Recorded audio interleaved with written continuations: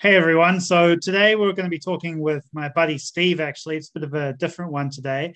Um, it should be an interesting conversation. Me and Steve have known each other for a few years now. I think we met back in 2016 in Thailand, Steve. Mm. Um, we were actually part of the same course together when we first both got into online business. Uh, and the cool thing is that with Steve, we have a similar kind of the same business model essentially, but he uses different strategies to get his clients. So should be an interesting conversation in that respect. And I guess just to jump right into it, Steve, maybe tell us a little bit more about the beginning stages of your business before you started and how that all went about. Yeah, I mean, like you said, so we're part of the same course that we joined back in 2015, I think it was. So if I go a bit further back, before that. So I just come out of university and uh, I was like unsure of what I wanted to do. And I thought I just want something that gives me freedom to be able to travel and, um, you know, just like earn money whilst being able to travel the world. And so I, I looked into different things online. I tried some like affiliate affiliate stuff. I created a website called Top Rated Diet Pill, which I don't think you know about, which no. is uh, which was quite funny. That that was a complete failure. So I tried a few things and they completely flopped. And then I ended up going to London and just like joining the rat race. And I was working in London and um, in like this this sales role.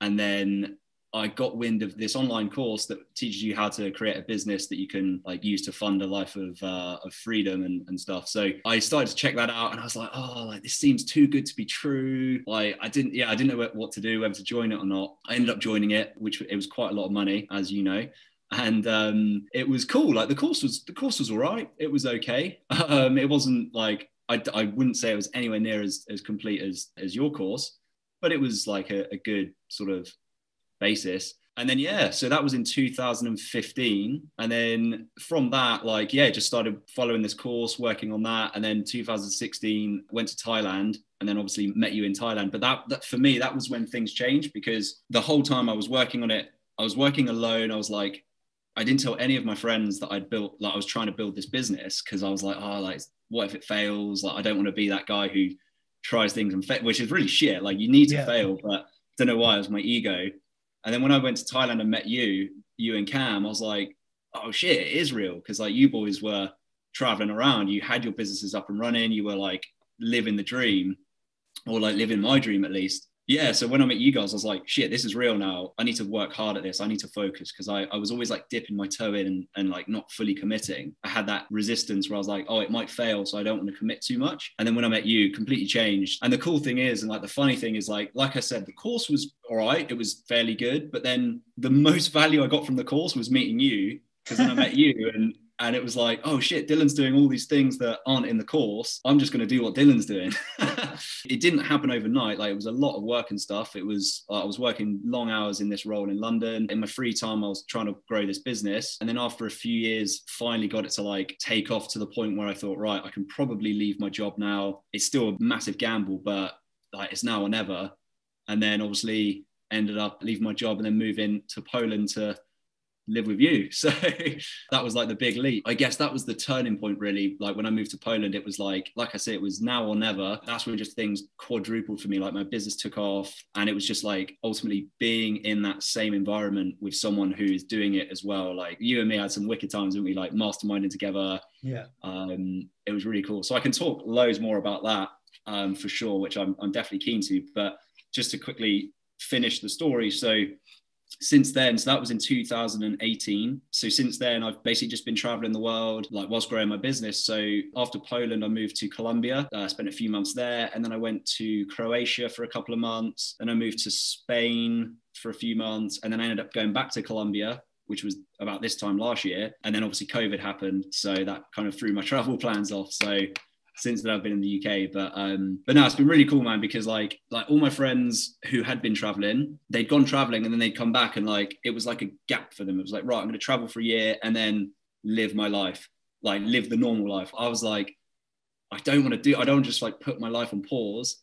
So the past few years that I've been traveling, my business has just grown and grown and grown. So it's it's been amazing to like have those experiences whilst also developing my career and myself as a business owner. So yeah, that's kind of like the story summed up. The past few years summed up in uh, three minutes. Yeah, it's really interesting as well. I mean, because you obviously were really, really committed to making it happen too. I mean, when you first joined that course, maybe talk a little bit more about the process from you know joining this course and spending all this money on this course and then getting to that first sale? What was that whole process like for you? Yeah, man. So joining the course itself was like a huge decision for me. And like it sounds silly, but because I'd already had all these failures before where like this this affiliate marketing, I tried like SEO stuff, because I already had those failures before, I was like so emotionally tormented by it. I was like, I can't take another failure, but I really want this to succeed. This course it launched, it wasn't like evergreen. I think it went online for like three days or something.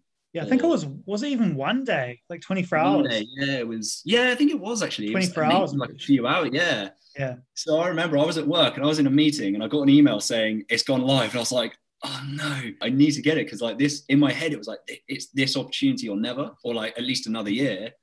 So I was like, right, I'm going to quickly go to the bathroom. So I went to the bathroom and got my phone out and I got my credit card out and I bought this course on my phone. For me, it was like such a big decision. It was such like this this like emotional thing to like purchase this course because for me it was like right, this is is it's the most money I've ever spent probably on anything. I was like, so now I've I've committed. I'm like I've got to do it. I've got to follow through. So after that, it was like it was super exciting to get into this course and like start building a business, but it certainly wasn't easy or quick. Like at least for me i know for you it was a lot quicker. But um like i said because i'd had all these failures i was like being a bit careful a bit cautious. I wasn't throwing myself all in mm. because i was like i don't want to commit loads of time to something that might not work which now my mindset has completely changed. It's like you've got to go after the things you want and because I've learned now that like if you commit, you're more likely to get it than if you don't. But at the time, I was just like, I don't know, I was in a weird headspace, and um, I followed the course. It was like, right, choose a business idea, build a website, find your team, the usual kind of stuff, go out and try and get clients. So I joined in like September, and I think it was, I think it was like May or June. I think it was about May time that I got my first first sale, and I couldn't, I couldn't believe it. Like it was just ridiculous. Like I'd just gone out and emailed a bunch of businesses just like, hey, I found you. I've just created this company. Do you want to uh, like? Can we speak? I think we. I can't remember what I said, but like, mm. yeah, I think we can. We can help. I remember like the first few emails I sent. The next day, I was at work and my phone started. My phone started ringing. It was a London number, and I was like, I think that might be one of the the leads that I email. and I let it go to voicemail, and um, I listened to voicemail, and it was it was this dude. He was like, Hey, I got your email. Really keen to chat. And I was like, Oh my god, like this is real. Like people are actually interested. And that first sales call, I did it from um, from Canary Wharf, uh, like DLR station. So if anyone's from London, they'll know where that is. Um, I did it from there, and I was like really nervous. I was like shaking, like hello. and uh, yeah, and it was just so funny. Like it was just such a buzz, and like that, I didn't close that sale, but that was proof of concept for me. It was like, okay, this is work. Like this can work. So I just kept doing it, kept doing it, kept sending emails, and eventually, yeah, I got a, got a company to say, yeah, we want to we want to pay you think it was like 200 pounds or something. It was ridiculously cheap. Hmm. Uh, I didn't make any profit on it. And um, yeah, like the first, he said, right, send me an invoice. So I was like, okay, sure. I hung up. And then the first thing I did was call my dad and say, Dad, what's an invoice and how do I send one? I was like such a noob. Yeah. It was fun. Like it was an exciting journey to get to that first sale, but it certainly wasn't like as clear cut as like you might think when people like people probably look at me and look at you in the group now and they're like oh like they've got it really easy. But actually they they haven't seen those first few months and years where it's like doing the graft you know doing that work. I think that like initial process as well is pretty crazy you know. We were when we first got that course i think it was like $5000 or $6000 yeah, 6000 um, i think yeah. yeah that's a crazy amount and we we jumped into it. And obviously my process was a little bit faster but it still took me three months to get my first sale that period, you know, those three months were terrifying because, you know, you don't know if it's possible. You see mm. other people getting sales and you're like, oh, well, they're, they're doing it, but can I do it as well? And that thought is terrifying in and of itself. And I think that that period is the most dangerous period in anyone's journey with mm-hmm. online business because they're most likely to give up during that period. So if they have people around them that are, you know, being negative about building an online business and saying, oh, it's taking you so long, it's probably not going to work, they're much more likely to give up easily if they hear feedback like that. So I think it's mm. so important. It was really important for us as well to have that community we had as well. Like the community was probably a really great part of that course, even though it was really expensive. Um, yeah. And that helped us push forward, I think, even more because that's a, that's the most dangerous part. Once you get that first sale, then you know it's real and you go all in, as you were saying, and you, actually yeah. start putting in a lot more effort because you know if you can get one sale, you can get more sales. And I think it was the same for me as well, Steve. When I when I got my first call, or my first reply to an offer i was like whoa people people yeah. are, in, are, interested i can't believe this and that was where where i thought okay maybe maybe this is real um, and then from there got to that first sale but yeah that, that's really interesting point. point and then once you got that first sale and you knew it was real what do you think changed for you in terms of maybe you know your mindset or mm. action as well? The mindset shift was enormous because it was like oh my god someone's just paid me money across the internet. I think i sent them an invoice on paypal and they sent me money and i was like shit this is real. Like this is actually a real thing. Because like up until then i saw people getting sales in the group I was a really negative person back then. I was like, oh, like they're probably hired by the guy who created the course. Like they're not actually real. I was like, this Dylan guy, like he's fake. And uh, I wanted to believe it, but there was something in me. I was like, yeah, they can do it, but I can't. Like I'm different. I'm not a business owner. They're business owners. They can do what they do, but like I'm different. And then went to event, but like, I don't know, in my head, I was like, just keep going, just follow the process, see if it works. If it doesn't, hopefully I'll learn from it. And if I if it does, then great. Um, and like I said, it, it worked. Like the, I got that first sale, and then as soon as that happened, it was just like, oh shit, this is real.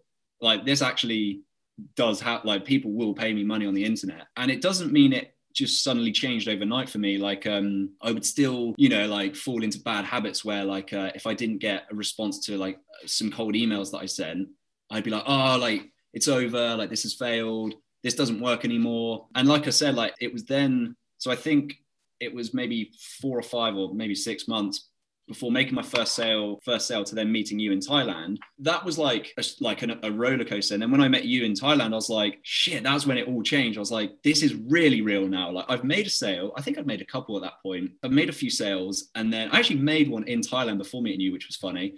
Um, so that was a cool holiday. Then I met you, and I was like, he like Dylan's doing this. Dylan's traveling I've made sales. This clearly is working. So my mindset changed. And then because of that, I was just, I allowed myself to go all in because I was like, it, it will work if I just dive in and, and like commit to it. Like it can work.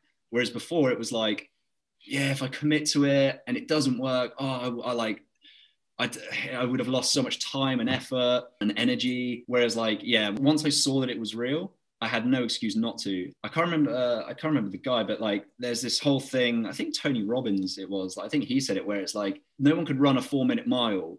Like no one could do it, and then one person ran a four minute mile, and in that year, something like ten people ran a four minute mile.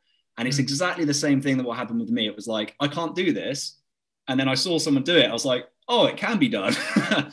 um, so yeah, man, like mindset change, and then because of that, all of my actions like and habits changed it became it became something that was like instead of running away from fear which i think was what i was doing because i was like i was almost trying to find reasons why it wouldn't work for me. Like oh these people are different. It won't work for me because whatever like I'm, I'm in london i don't know making up like excuses. And then it changed to finding reasons why it can work. It's like well if dylan can do it i can do it. If i can make 200 pounds in a sale i can make 500 pounds. And then that became a thousand. And then 3,000 and 5,000 and like 10,000, $10,000 sales that we're doing now. It's like everything just leads on to the next. I'm still like, I don't think it's maybe anything you ever escape. Like, I'm now like, now I'm like, right, how do I make a $20,000 sale, or like a $50,000 sale? So I don't think it's something you ever outrun, but I think the most important thing is just getting that first win and celebrating small wins, like finishing a website. That's a big win. When have you ever had a website before? Never. All right, well, that's a win. So like celebrating these small wins. And that's what i started doing was was recognizing like all these little accomplishments and um, and like rewarding myself for them. And it just spurred me on. So yeah i think that was the big thing. Yeah. Yeah. Yeah. It's so crucial man. Like there is there is definitely a, a, mindset and an action change once you do get that first sale and then there's a lot of little ones after that as well you know like you're mentioning getting to that point where you're getting those bigger sales but then also things like automated sales like i remember the first yeah. time i got an automated sale where you know i think i was just sitting in bed or something and i look at my phone like whoa where'd that sale come from i never did a sales call or anything yeah. and, then like when we're in thailand we're getting sales there or like and when i was in uh budapest like in, in a bar or a club and like seeing a sale pop on your phone, that's that's pretty crazy feeling as well. But before Yeah. you get to that point, you don't even believe that you can do it. And I remember as well, one thing that's quite interesting is um in that course, uh, most of the people in that community, I think, were doing a lot of it themselves. So there wasn't much automation going on with it. And like everyone was doing the sales calls, right? No one would automate the Mhm. sales calls back then. So once I automated the sales calls and I added that into my course and I saw other people were doing it, I noticed that it became so much easier for the students to automate the sales calls as well. yeah, So everything just happens faster when when we actually see that other people say it can be done and Yeah. they're doing it. Then we're like, okay, that person's doing it, then I can do it. And that's when we actually do things. Often, if other people aren't doing something, we're not willing to just try it out and come up with it, right? We don't believe it's Yeah. possible until we see other people doing it. And that's something that's really, really interesting. And I think that that's a big part of, you know, having that community there as well. You know, like when you when you came to live with me in Poland, when we were in Krakow together, and I remember us sitting in Starbucks and doing a little mastermind sessions there. Like Yeah. you, like you were doing pretty well at that point, right? Like I think five k a month or more or something like that.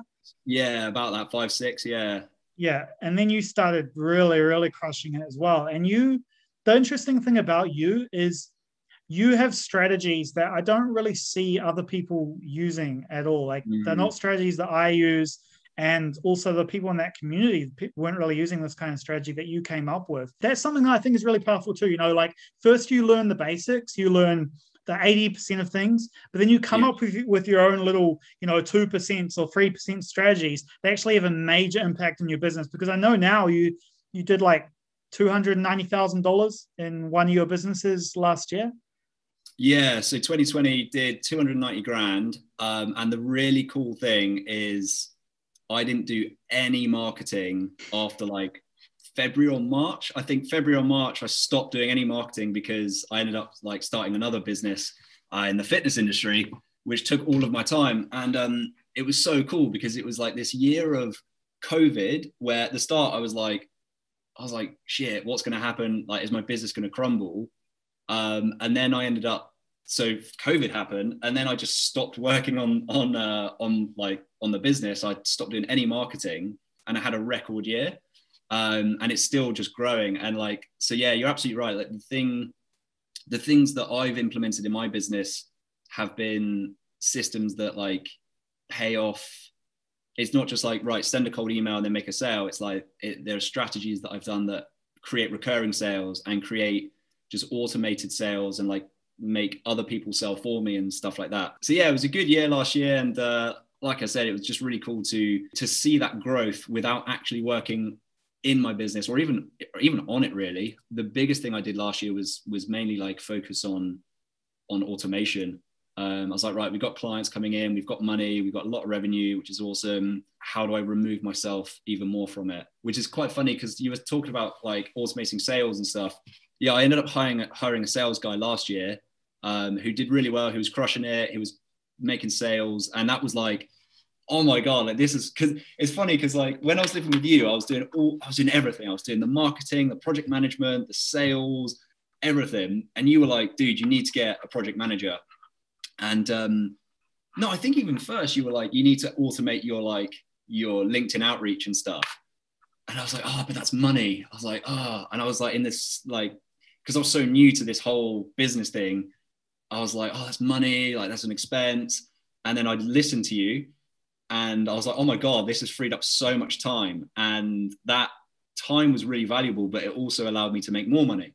And then so that was the first thing. Then it was you were saying you need to hire a project manager. I hired a project manager, which took a couple of months to find the right one. Um, then got her up to speed, and yeah, like that was huge as well. It was like, shit, I've just got rid of all of my like day-to-day projects, and then I started to feel guilty. I was like, I don't know what to work on. Like, what should I do? I remember chatting to you, just like Dylan, I don't know what to do. You were like, just keep working on automation, just keep like just keep automating. And then yeah, so last year I hired a sales guy. He was killing it, and then in November last year, I ended up hiring one of my best mates to join me, and we've kind of partnered up. So he's kind of become like a part owner of my business now, and it's been amazing because like what I realized is that there are two kind of things like you can automate your business and it will it will just run and make sales, or you can automate your business and come back in a year and it's grown. And that's what I wanted. I didn't want it to just run, I wanted it to grow. So I had a long chat with, well, several chats with with one of my mates who's uh, who's been involved in different marketing agencies, and I was like, shit, if I partnered with him, I could remove myself and it would just like the business would develop as well. So I hired him and um, yeah, that's been amazing. So there's like a whole new level of automation, which is like not only your sales outsourced, not only are like your projects outsourced, but now it's like your whole product development is outsourced. Like, uh, so he's called Kyle. Kyle has come in and just been like, oh, like I see like we need to, we need to change this. Like this is, this is like an idea I have that's going to help differentiate us in the marketplace and stuff. And I'm like, wow, these are things that I would have had to think of consciously. And like, it's hard to find that. So um, now I've hired him. It's like, shit, there's a whole new level of automation, which is awesome. Can't remember why I was talking about that, but yeah. automation, automation. Yeah. yeah, man, that's, that's really interesting as well. Like getting to that point where your team is, is also coming up with ideas, coming up with solutions yeah. and coming up with ways to build your business, not just implementing the systems that you've you've created for them. And then that's where your business becomes almost like an asset. It just yeah. creates value for you without you having to work in it essentially or on it. Um, because you're basically completely focused on this new thing now. So yes that's really cool. And i think that one thing that we've spoken about a lot in the past is competition mm. and how you know when we started out like what was it five years ago now with animated video such like a a saturated market, people would say, like everyone's doing animated video businesses. We were like, oh man, uh, how are we going to get enough sales to earn as much as we want, et cetera, et cetera. Uh, and we were even, you know, you were you asked me about this back in like 2018 even, and I was like, back then I was like saying to you, you know, everyone's always worried about competition, mm. but the thing about competition is most people aren't willing to do enough work to actually create the business and get it to the level that you're willing to get it to. So your competition isn't, you know, everyone else having an animated video business. Your competition is the people that are willing to do all of the things that you're doing mm-hmm.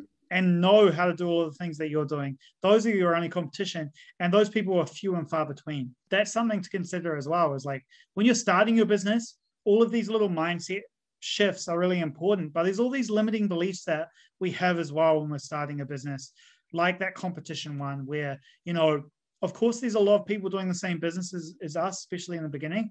But because we did things in, in certain ways, you know, focusing on specific niches, focusing on specific mm. marketing channels, uh, and you, you know, with with your own methods, I don't really even fully know, you know, what your strategies are completely. Yeah. You know, th- those are the things that allow you to win, and those are the things that you come up with while you're actually implementing the general thing. So first, you learn all of the basics of building a business and getting your first results, you know, getting to mm. $10,000 a month. And then as you're doing that, that's when you, you start to find the little things, the, the best niche to go after, finding clients that buy multiple services from you, finding your best marketing channel, finding the best offer, finding different strategies for getting new clients, et cetera, et cetera. So there's all these little things that kind of build up over time. And you just need to be willing to be one of the people that is going to fully commit to implementing that process until you get to that point.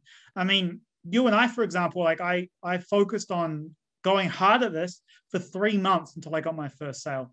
You mm. were well, I think like nine months or something like that. Something like yeah. Yeah, we're not really good at counting months or anything. and the funny thing is, like you and I are not the smartest guys around.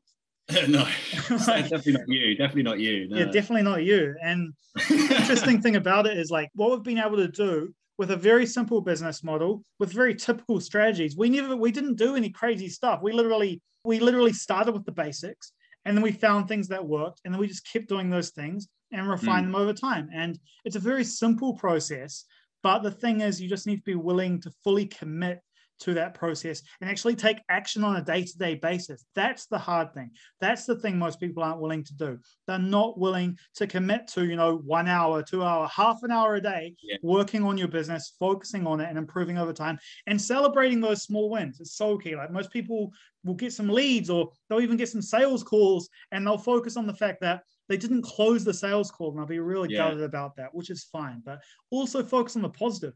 You got a sales call someone was interested enough to set up a call with you to talk about your service. If you can Yeah. get sales calls, you're literally at the at the door to getting that first sale. So and that's Yeah. something that's really critical too. what I'll say to that as well is like, uh, so when I was doing the mastermind in your course, like when Yeah. I had some private students and I was coaching them, a couple of books I always recommended. So one was Atomic Habits by James Clear, and another was called The Slight Edge. I can't remember who it's by, but The Slight Edge. And there's also a third one as well, actually, called um, The Compound Effect. And they're all kind of similar. I'd recommend reading all three, but it goes back to what you were saying just about like just doing the daily tasks where like small daily habits have such a big payoff in the long run and like they compound on each other so if you get 1% better every day you're like thousands percent better at the end of the year i don't know the exact figure because i'm not a mathematician but uh, but it, it's big it's big. Yeah, yeah. It's a Um, big amount.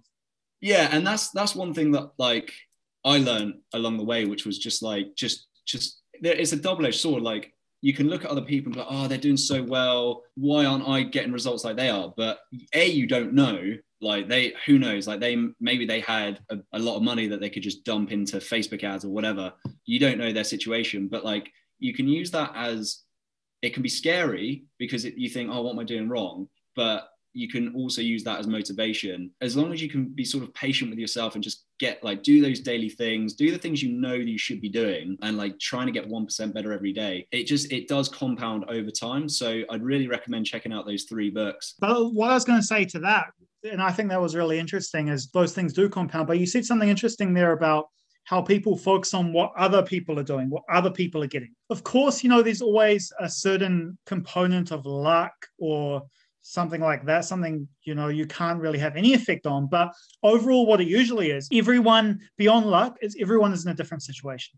Everyone Yeah. starts with different resources. Some people have more time. Some people Yeah. have more money. Some people are just naturally really good at focusing and getting a lot of things done. Some people aren't, um, which by by the way comes down to habits a lot of, a lot of the time. Mm. But you know what you choose to do on a day to day basis is what's important. What you do with your own resources is what's important. It doesn't matter what other people are doing. You can you can look at what they're doing. You can take inspiration from it, but don't expect that you know you're going to magically be able to do what they do right away. Because oftentimes people do have some natural skills, um, but we all have the same process. And I think you and I are, are good examples of this.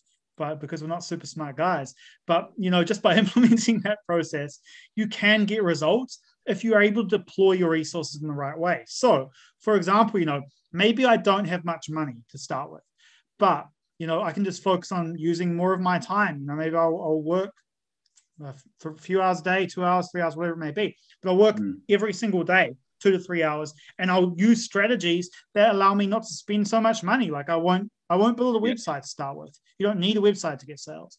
I'll use free methods like you know social media outreach or uh, cold email or whatever it may be, Mm. even you know door to door if I need to. But I'm going to get those first sales, and then when I get those first sales, I'm going to reinvest it back into my business and grow it from there. Because you just need to all you need to do is audit your life just audit your life. Audit what you're doing with your hours. Audit what habits you've got what bad habits you've got what good habits you've got. Audit what you're spending your money on. Audit at what times of the day you feel most energetic so you know when to work. All those things are so important. And actually tracking those things and having a structure and a plan to your day that enables you to implement things in the best way and, and use your resources in the best way is so crucial. And i think that's one of the main things people don't do is they they just don't organize themselves. They don't they don't look at what they have they focus on what they don't have and then they use what they don't have as an excuse for not taking action when in reality Yeah. they should be looking at what they do have and then take action with what they have create a plan around that so yeah that's really really crucial for sure Yeah, hundred percent. Like for me, habits are huge. Like as soon as I lose routine, like it's so funny. Like when I was working in a real job, I was like, I just want freedom. I don't want a routine and stuff. And then I got it. And what I realized is actually I started to fall in love with like business itself. And I was like, oh, it, it's so fun to come up with a new thing and, and test it and see if it works. And now for me, it's like I really like my routine because I know that like if I work for whatever like four hours today, the rest of the day I can I can relax and it's guilt free and stuff. And having these daily habits and like routines make it so much easier to do that. So like if you're if you're in the stage where you're currently working in a job and this is a like a side hustle for you and you're just trying to grow it in your free time, then I'd say like set aside times of the week where it's like, right, that is my dedicated time to focus on business and try and make it more frequent rather than doing like, right, on a Sunday, I'm going to spend 12 hours and then not do it for the rest of the week. Because I think momentum's so powerful that if you do 30 minutes or an hour a day, that's better than doing like seven hours on a Sunday and then nothing else because it just builds up and up. And yeah, the thing I wrote down, which is what I wanted to talk about earlier, which was every time I speak to you, every time like we hop on a call, I always come away like, oh man, yeah, it's so fun to build businesses and like to grow things. And like you've you've talked about like gamifying it. So like making it a game like oh what what what level can i reach next? What's the like obstacle i have to overcome now? Like then what's the next obstacle? And if you can try and gamify it for yourself where you're like right i'm on level one how do i get to level two? And like what's the reward for getting to level two? It just makes it so much more fun and it makes it so much more rewarding as well. So like i love that concept of just gamifying it and and turning turning it into a game. Because um, in reality it is a game. It's like it's like all right i'm building a business. That's uh this is going to be fun. Like what am i going to learn here? And the cool thing is as well like as well is that you don't you're not just building a business. And this is something i've realized is like people who win the lottery for example probably like I, I think there's a stat that they end up broke but mm-hmm. they probably don't end up as much uh, like any like they don't end up more happy. They haven't built the skills to make money. So if they lose it they're screwed. They have to win another lottery. Whereas like when you're building a business you're building yourself as a like you're building your character. So like if your business crumbles at any point you you know you can start another one. Like you you've got the skill set to do it. And so like you're not just building a business you're building yourself. And that's the way i've i've i kind of look at it and i've started to look at it which is like I'm becoming a better person through this. I'm becoming a better person through building a business because like there are struggles, like there are obstacles that you have to overcome. And when people look at probably like you and me in the group who are just starting out, they probably see this finished product that they're like, oh, they, they're so lucky they've got this business. But people don't know that like last year in June, I was genuinely talking about shutting down my video business because there was like we were too busy and I was like, oh, I can't be bothered with all these problems that are kicking off. I was working on this fitness product. I was like, maybe I should just focus on that and just get rid of this business. And then luckily I stuck at it. I was like, no, if I can fix these, it's stressful at the time, all these fires that are taking place, like all these obstacles, if I can fix them, I will have reached that next level of like, well, what's the next challenge? And like, I know I can overcome it. But try and gamify it and trying to try to look a bit deeper is like, you're, who are you becoming as a person by building a business? Yeah, I think that's so crucial as well. People often look at it as getting to the end. Like, I just want to get to the end. I just want to have this yeah. thing that's going to make money, which is awesome. And yeah, of course, you want to have that thing yeah. that's going to make money. But that process of getting there that allows you to build character personally, but also, you know, the skills of being able to do it again, just in case it ever ever goes under or maybe it stops working, whatever it may be. Not being afraid of that because you know that you actually have the skills to replicate mm. it over and over again. And it's not just this thing where you're you're building this thing that's going to be there. I mean, it's this thing where you're building yourself and your own skills, your own abilities and who you are as a person that enables you to replicate that process with other businesses down the line. I mean, just having this one business isn't going to make you happy as well. You're going to want more. Mm. And, you know, once you get to the next level, you're going to want to get to the next level, the next level, and the next level, as we've both yeah. experienced. So, um, yeah, I think that's so crucial. And, and gamifying it in terms of, you know, celebrating your wins and rewarding yourself for those wins is really crucial too. Actually, you know, having that reward, don't just focus on the end goal, make little goals all the way leading up yeah. to that end goal so you can actually celebrate. Go out and have a beer when you finish your website or whatever it may be. Yeah. it's so so crucial. Not turning it into this painful thing you know turning it into something that you actually enjoy doing.